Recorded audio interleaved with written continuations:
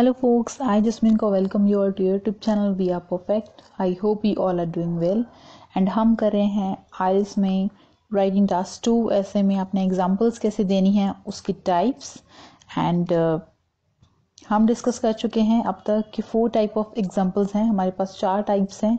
सर्वे है जिसका वीडियो हो चुका है. डिस्कस ऑलरेडी सेकेंड है research third one is news paper article and आज के वीडियो में डिस्कस करने वाले हैं fourth type which is study and सारी की सारी एग्जांपल्स जो आपने देनी है वो पास्ट टेंस में होनी चाहिए। सो so, स्टडी के ऊपर हम वीडियो आज कर रहे हैं कि आप स्टडी कोई पर्टिकुलर को लेके आप कैसे एक एग्जांपल बना सकते हैं जो कि रियलिस्टिक लगे। सो so गाइज़ आपको फॉर्मेट में दे देती हूँ जैसे कि बाकी वीडियोस का मैंने बाकी वीडियोस में दिया है मैंने आपको बाकी एग्जांपल्स का। सो so, स्टडी का फॉर्मेट है to illustrate a study conducted by यहाँ पर आपने किसी भी ऑर्गेनाइजेशन का नाम देना है, जैसे कि मैंने यूएन लिख दिया है। इन डैश ईयर का नाम देना है, जैसे मैंने 2000 लिख दिया है। ऑन डैश अब किसके ऊपर ये स्टडी हो रही है? ऑफ़ डैश अगर स्टूडेंट्स के ऊपर हो रही है तो ऑफ़ के बाद कॉलेजेस अपने लिखने हैं। दस कॉलेजेस के बच्चे थे, बीस कॉलेजेस के स्टूडेंट्स थे जिसके ऊपर ये स्टडी हो रही है। ऑफ़ डैश फिर किस प्लेस के ऊपर वो कॉलेजेस हैं? किस प्लेस में है वो? सो so, आपने तीन जितनी डिटेल में आप अपनी एग्ज़ाम्पल देंगे उतनी वो रियलिस्टिक लगेगी। सो so, हमने दिया ऑन डैश कितने लोगों के ऊपर ऑफ़ वो जो लोग हैं जैसे स्टूडेंट्स हैं तो कौन से कॉलेजेस में से हैं? अगर वो आ, किसी पर्टिकुलर ऑक्यूपेशन में है तो जैसे कितने डॉक्टर्स की एग्जांपल है तो कितने हॉस्पिटल्स में काम करते हैं वो डॉक्टर्स ऑफ़ डैश फिर वो हॉस्पिटल्स कहाँ पर सिचुएटेड हैं कहाँ पर लोकेटेड हैं उस लोकेशन का नाम। रिवील दैट डैश परसेंटेज अब कितने percentage of them were dash मतलब आपका जो भी टॉपिक है क्वेश्चन का आप उसको यहाँ पर फिल कर देंगे। सो so, मैंने पहले भी कहा था कि आपने ध्यान रखना है कि एग्ज़ाम्पल हमेशा पास में होनी चाहिए।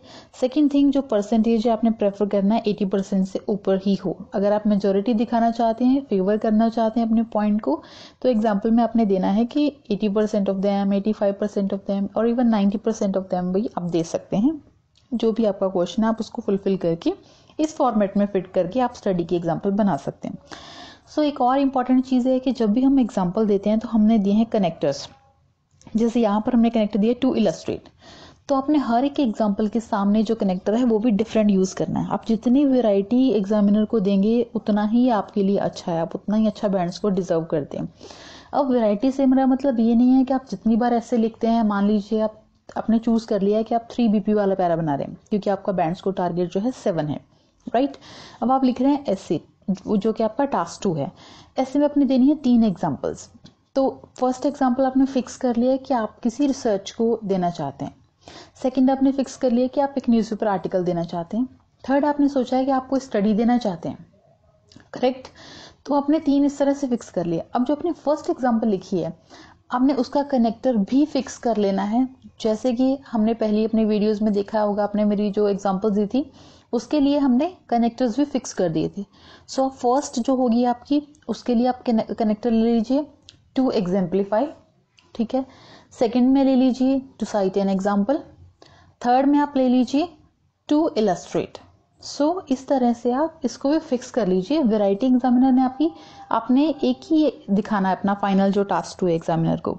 सो so, आप इसको फिक्स कर लीजिए अपनी रूटीन एसेज में। आप जैसे प्रैक्टिस करते हैं आप उसमें टाइप ऑफ़ एग्ज़ाम्पल कौन सी देंगे कौन सा कनेक्टर किस एग्ज़ाम्पल में लगाएँगे वो आप फिक्स कर लीजिए ताकि फाइनल एग्जामिनेशन में आपका टाइम भी वेस्ट ना हो एंड एग्जामिनर को वेराइटी भी नज़र आ जाए।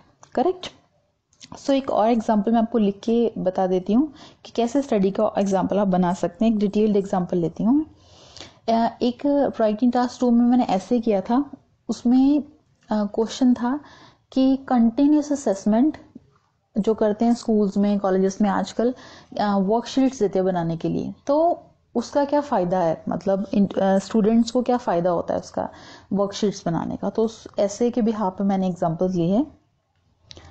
सो so, ये एग्ज़ाम्पल है to illustrate study conducted by U N देखिए जो भी ऑर्गेनाइजेशन हैं जो अपने सर्वे के लिए मैंने आपको लिस्ट दी थी उसका वीडियो का लिंक मैं डिस्क्रिप्शन बॉक्स में दे दूँगी आपको.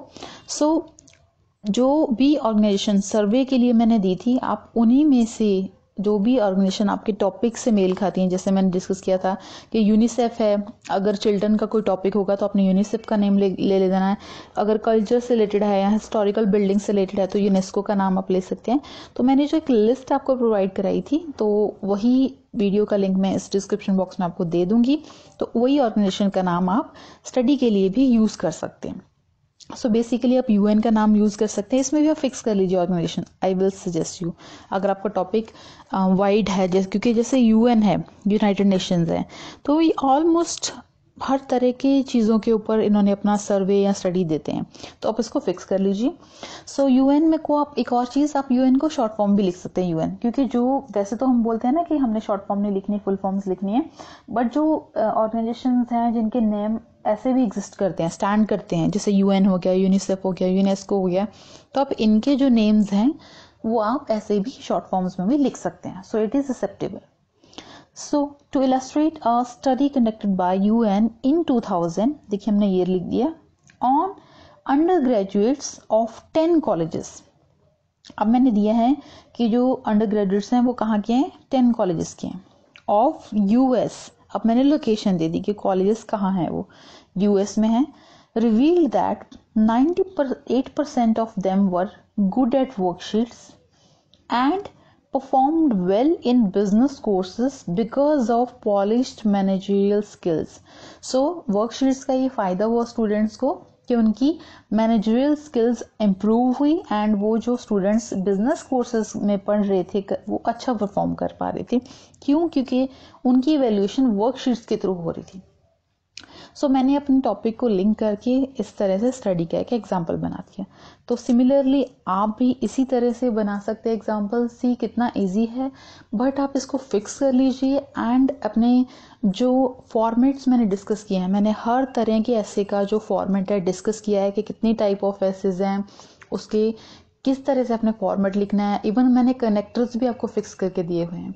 तो आप उसको उठाइए फॉर्मेट को। मैं उसका लिंक भी इसी डिस्क्रिप्शन बॉक्स में अलग से डाल दूँगी टाइप ऑफ़ ऐसे वाली वीडियो का। आप उसको देखिए। एंड जो एग्जाम्पल्स अब मैंने दे दी हैं चार अगर आपकी बीपीज चार है मान लीजिए आपको टाइप आ गई है एडवांटेजेस एंड डिसएडवांटेजेस ऐसे की। सो so, अब आपने अगर आपका टारगेट स्कोर सिक्स है देन इट इज़ ओके आपने एक पैराग्राफ में दो एडवांटेजेस दे दी और सेकेंड एडवांटेज की आपने एग्ज़ाम्पल दे दी। ठीक है? देखिए मैंने डिटेल में ऑलरेडी डिस्कस कर चुकी हूँ इसको दूसरी वीडियो में वो मैं आपको शेयर कर देती हूँ लिंक लेकिन अगर आपका बैंड स्कोर सेवन प्लस है तो आपने दो अलग अलग बीपीज बनाने हैं एडवांटेजेस के दो अलग अलग बीपीज बनाने हैं डिसएडवांटेजेस की. सो so, आपको टोटल चार एग्जांपल्स चाहिए. तो मैंने चारों आपके साथ टाइप डिस्कस कर लिए हैं शेयर कर लिए हैं आप फॉर्मेट को फिक्स करिए एंड अपनी एग्जांपल्स दीजिए एंड डेली आप इनको प्रैक्टिस करिए. अदरवाइज़ ये वीडियोस का या आपके पास जितना भी कंटेंट है, उसका कोई फ़ायदा नहीं है जब तक आप प्रैक्टिस नहीं कर रहे हैं। So guys keep practising and wishing you good luck मेरा एक इंस्टाग्राम चैनल भी है। अगर आप उसके ऊपर जाके कोई कमेंट जानना चाहते हैं, कोई क्वेश्चन पूछना चाहते हैं तो आप उस पर मुझे मैसेज कर सकते हैं। पेज का नाम है इंस्टाग्राम पेज का नाम है we are perfect thirty nine आप सर्च कर सकते हैं। सो so गाइज़ अगर अभी तक आपने चैनल सब्सक्राइब नहीं किया है do subscribe thanks for watching and अगर आपको वीडियो इन्फॉर्मेटिव लगी हो please hit the like button see you soon